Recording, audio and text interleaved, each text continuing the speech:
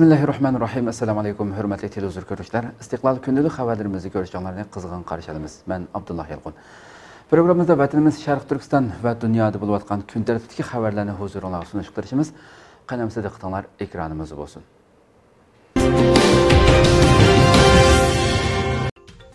Xitoyning yolg'on sonliq ma'lumot yasab chiqishiga aloqador bir qism tafsilotlar oshkorlandi. Xitoy doirlari e'lon qilgan yuqumga aloqador sonliq ma'lumotlar izchil holda xalqaro jamiyatning gumonini qo'zg'ab kelgan bo'lib zimiston to'rining eng yangi xabarida xitoyning sonliq ma'lumotlarni qandoq kontrol qilganligiga aloqador bir qism tafsilotlar oshkorlangan. Jejang o'lkasidagi ma'lum bir doktor zimiston to'rining ziyoratini qabul qilib ikkinchi oy mazgillarida vinjo shahrida yuqum ahvolining nihoyatda ig'ir bo'lganligini nurg'unlagan yuqumlang'uvchilarning kesili ig'irlashib ketganligini ammo o'lkalik doirlardan buyruq kelib birimi o'lgicha chiqmasligi kerakligini talab qilganligini bildirgan. Uning oshkorlashicha virus bilan yuqumlanib kesili ig'irlashganlarning kasallik arxipi o'zgartirilib boshqa bo'limiga yo'tkalgan bu orqali bir tarafdan yuqumlang'uvchilarning soni oziltilgan bo'lsa yana bir tarafdan o'lib ketganlar boshqa kasallik bilan o'lganlar qatoriga chiqarilgan natijada jejang o'lkasida yuqumlanganlar 1200 kishi ammo o'lganlar faqat bir kishi bo'lishdek soxta ma'lumot yasab chiqilgan. Bulardan sirt tibbiy xodimlarning yuqumlanish ahvolimi sezgur masala deb qaralg'achqa buningdimi o'xshashli soxtalik ishiltilgan mazkur doktorning bildirishicha xitoy doirlari tibbiy xodimlarga qarata virus tekshirishni to'xtatayotgan bo'lib buning bilan tibbiy xodimlarda yuqumlanish ahvoli ko'rilmagan soxta vaziyat yaratilgan. Gumon qilingan doktorlar uyida ayirib ko'zishga qaytarilgan bo'lib yuqumlanganligi bayqalgan taqdirdami odatdagi fuqarolar qatorida statistika qilingan. Xabarda yana xitoy doirlarining yuqumga qarshi turish jarayonida o'z obrazini qo'g'dash va gavdalantirish uchun tibbiy xodimlarni to'qilma mazmunlardagi ta'sirot maqolasi yezib ijtimoiy taratqularda tarqitishga majburlaganligi bildirilgan. Yaponiyalik nobel mukofoti sohibi xitoy virusining yasab chiqilganligini o'tirg'a qo'ydi. Qrim agentligining 27 apreldagi xabarda bildirilishicha, yaponiyalik immunit ilmiy mutaxassisi Nobel mukofoti sohibi professor doktor Tasuku Honjo virusning Xitoy tarafidan yasab chiqilganligini o'tirg'a qo'ygan. Doktor Tasuku Xitoy virusi haqida to'xtalib, "Men 100% ishonch bilan ayta olamanki, Xitoy virusi tabiiy shakllangan emas, shaparangdan kelib chiqqanmi emas, Xitoy uni yasab chiqqan" degan. Uning aytishicha agar virus o'zligidan paydo bo'lgan bo'lsa har bir davlatda temperatura o'xshamaydiganligi sababli hargizmi butun dunyoga ta'sir ko'rsatolmaydi ekan balki faqat xitoy bilan o'xshash temperaturaga ega davlatlarga ta'sir ko'rsatadi ekan. U yana munularni bildirgan. Man bu sohada 40 yil izlandim. Dunyoda tarqalayotgan virus tabiiy paydo bo'lgan emas. Virus shvetsariyaga o'xshash bir davlatda tarqalayotidi qumliq rayonlardami o'xshashli kengayyotidi agar u tabiiy paydo bo'lgan bo'lsa sug'uq joylarga tarqalib issiq joylarda o'lgan bo'ladi. Mening tajribamga asosan bu virus tabiiy paydo bo'lgan emas balki butunlay yasab chiqilgan. Man xitoyning vuhan tajribaxonasida 4 yil ishladim. Barliq xizmatchilar bu tajribaxonani biladi. Mening hozirgacha erishgan barliq bilimim va tadqiqotimga asosan virusning tabiiy emasligiga 100% ishonaman. Kioto universitetida ishlayotganiga 34 yil bo'lgan doktor tavsoko xonjo ikki ming o'n sakkizinchi yili immuniy sistemasini tangshash orqali rak hujayrasiga qarshi turish usuli jihatda ko'rsatgan xizmati uchun Nobel meditsina mukofotiga erishgan. Avstraliya Xitoyning iqtisodiy jihatdan salgan tahdidlarini qabul qilmaydiganligini bildirdi. Avstraliya tashqi ishlar ministri Maris Payne 27 apreldagi bayonotida Xitoy bosh elchisining iqtisodiy jihatdan tahdid silish tusidagi so'zlariga norozilik bildirdi. 26 aprel Avstraliya ichki ishlar ministri Peter dutun Xitoy virusining manbasini aniqlash uchun Xitoyga xalqaroliq mustaqil tekshirish gruppasi avatish kerakligini o'tirg'a qo'ygan. Xitoyning Avstraliyada turishliq bosh elchisi Chung jinye buningga ifoda bildirib, bu taklifni xatarlik, mas'uliyatsiz, siyosiy g'araz yoshiringan fikr deb sifatlagan. shundoqla avstraliya mustaqil tekshirish hay'ati avatish fikrida ching turgan taqdirda xitoy iste'molchilarining boyqut qilishiga uchraydiganligini buning xitoy o'quvchilarni va sayohatchilarni avstraliyaga avatish yezi egilik mahsulotlari eksporti qatorliq sohalarga chetildiganligini bildirib tahdid solgan avstraliya tashqi ishlar ministri maris peyn xitoyning bu tahdidiga norozilik bildirib mustaqil tekshirish taklifining prinsipga uyg'un chaqiriq ekanligini xitoyning buningga qarata iqtisodiy jihatdan tahdid selishini qabul qilmaydiganligini bildirdi. Shundoqla xalqaro jamiyatni bu jihatda hamkorlashishga chaqirdi. Xitoy vakilini birlashgan millatlar tashkiloti maslahatchilar gruppasidan chiqarib o'tish talab qilindi. Zimiston to'rining bugungi xabarida bildirilishicha 82 xalqaroliq tashkilot xitoy vakilini birlashgan millatlar tashkiloti maslahatchilar guruhisining a'zoligiga tayinlash qarorini amaldan qoldirishni talab qilib birlashgan millatlar tashkilotiga murojaatnoma sungan. O'ttir va sharqiy yevropadan kelgan 82 xalqaroliq tashkilot va jamiyat birlashgan millatlar tashkiloti bosh kotibi antonio guterres va birlashgan millatlar tashkiloti umumiy majlis 3 komitetining raisi kristian braunga birlashma murojaatnoma sungan. Murojaatnomada xitoy vakilining maslahat kengashidagi amalini bekor qilish talab qilingan. Murojaatnomaga imzo qo'yg'uvchilarning mutlaq ko'p qismi tibatni qo'llaydigan tashkilotlar bo'lib murojaatnomada chet eldagi tibatlarga alohida ko'ngil bo'layotganligi aniq o'tirg'a qo'yilgan. Shundoqli xitoy amaldorini birlashgan millatlar tashkiloti kishilik huquq kengashi maslahatchilar gruppasining nomzodligiga ko'rsatishning adolatsizlikka yo'l ochish ekanligi aniq o'tirg'a qo'yilgan. Bu tashkilotlar ichida yana xitoy kishilik huquq faoliyatchilari uyg'ur tashkilotlari ichki Mongol va Hong kongdagi demokratcha tashkilot va jamiyatlar bor ekan.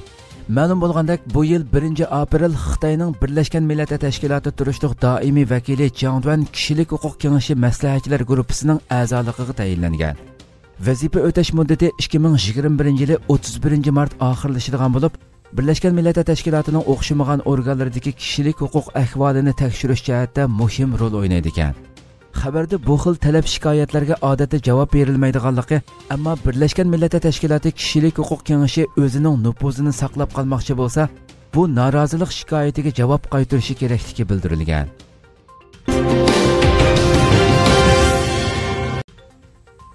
Yana ikki uyg'ur amaldor jazolandi.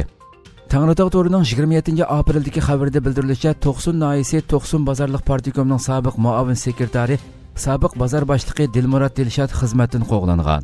Xabarda sobiq bozor boshlig'i dilmurod dilshodning intizomga qonunga ig'ir xiloflik qilish masalasi delo turg'izilib tekshirilishga boshlaganligi bildirilgan.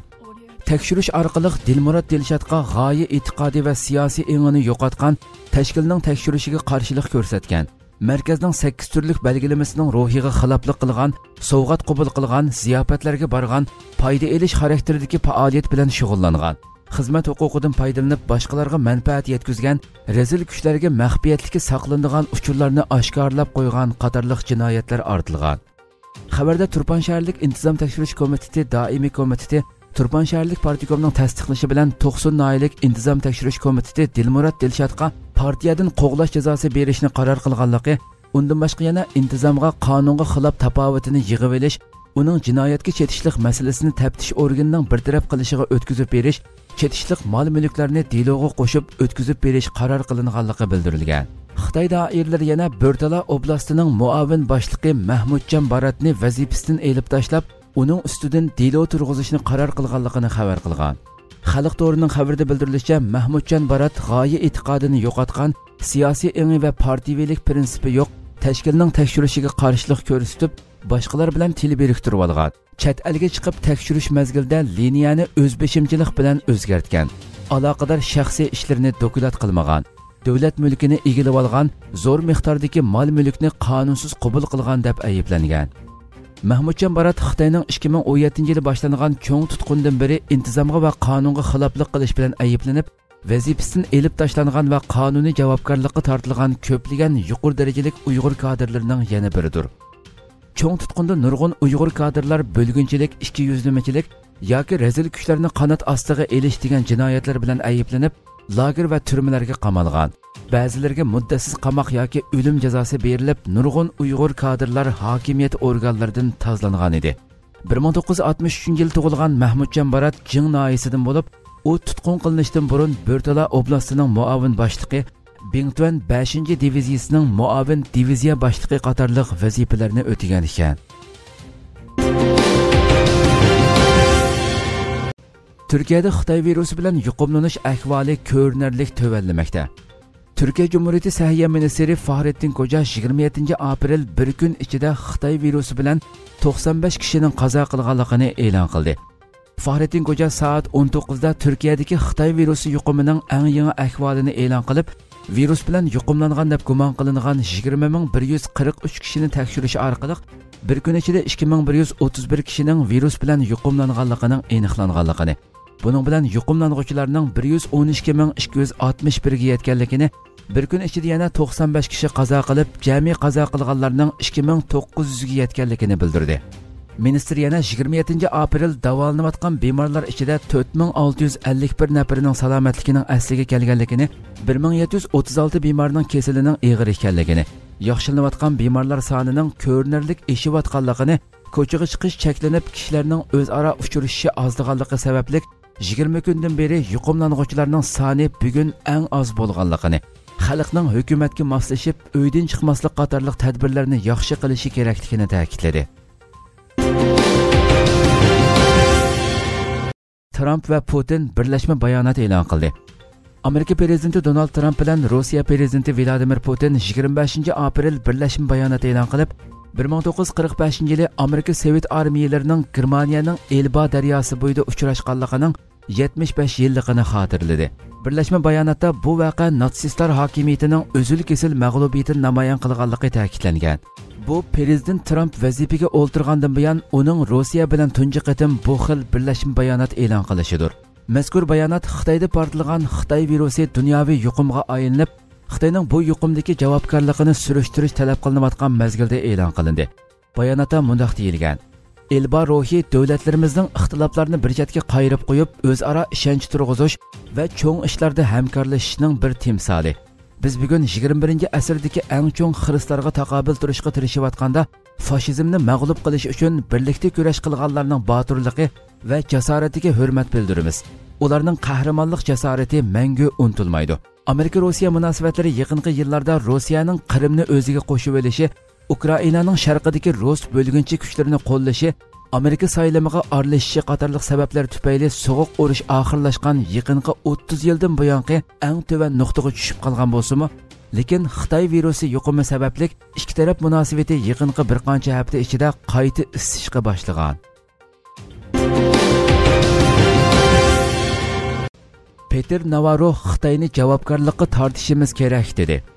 Oqsaroyning iqtisodiy maslahatchisi peter navaro xitoy virusini dunyoga xitoyning tarqatganligi uning javobgarlikqa tortilishi kerakligini bildirdi.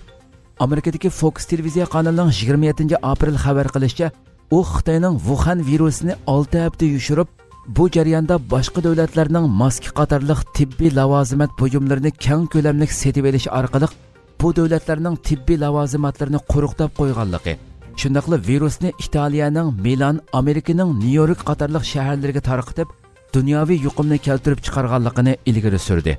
Peter navaro ularning virusni vuhanda kontrol qilib tura olishi mumkin edi lekin unda qilmadi. Ular necha yuz ming xitoyni aeroplanda milan nyu york va boshqa joylarga yo'llab uni dunyoga tarqatdi degan. Uning ta'kidlashicha xitoy bu 6 haftada boshqa davlatlardan 2 milliarddan ortiq maska setib olgan. Bu davlatlardagi tibbiy qo'g'dinish lavozimatlarini quruqtab qo'yib bu davlatlardagi tibbiy xodimlarni ehtiyojli qo'g'dinish buyumlaridan mahrum qo'ygan. Navbatda amerikada xitoyni javobgarlikqa tortish haqidagi sadolar kuchaymoqda. Amerika kengash palata a'zosi tom katton xitoyni javobgarlikqa tortishni kuchlik tashabbus qilayotgan siyosiy yo'llarning biri. Uning fox kanaliga bildirishicha u xitoy kommunist rahbarlarining xitoy virusini dunyoga bilib turib maqsadlik tarqatganligiga ishondigan tom katton ularning virusning xitoy bilan cheklanib xitoyning nisbiy kuchi va dunyodagi o'rnini ojizlashtirishini xohlamaydiganligini bildirgan. Turkiya amerikaga tibbiy lozimatliklar yordam qildi. Turkiya ovozi radiosi xabarida bildirilishicha jumhur rais rajab tayyib erdog'anning yo'l yo'riqiga asosan Türkiyə Xitay virusuga qarşı kurashga yordam berish maqsadida virusning eng og'ir zarbasiga uchragan davlatlardan Amerika Qo'shma Shtatlariga operatsiyada ishlatiladigan yuz maskasi, tulum, yuzni qo'g'dash uskunasi, N95 tiplik maska va tulum qatorliq tibbiy lozimatliklarni avatdi. Türkiyə Dövlət Müdafiə Ministerliyi bilan Səhiyyə Ministerliyi tərəfindən tayarlanğan tibbi lazimatliklər qaçılanğan A400M tiplik yük aeroplanı poytaxt anqaradagi atimaskut harbiy aerodromidan amerikaga qarab yo'lga chiqdi.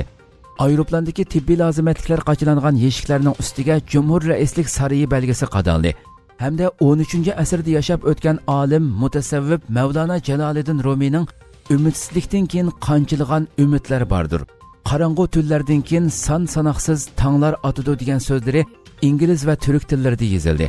Amerika qo'shma shtatlarining anqara elchixonasi amerikaga tibbiy lozimatliklar yordam bergan turkiyaga rahmat aytdi elchixona tarafidan bu haqda e'lon qilingan bayonotda mundoq deyildi. Butkul dunyo xitoy virusiga qarshi kurash qilinayotgan krizis paytida o'xshash tushunchalarni o'rtoqlashayotgan ittifoqdoshlar va hamrohlar aro zich hamkorlik yuqumga taqobil turish uchun tezlik bilan harakatga o'tish va unum hosil qilishda nihoyatda zo'r ahamiyatga ega.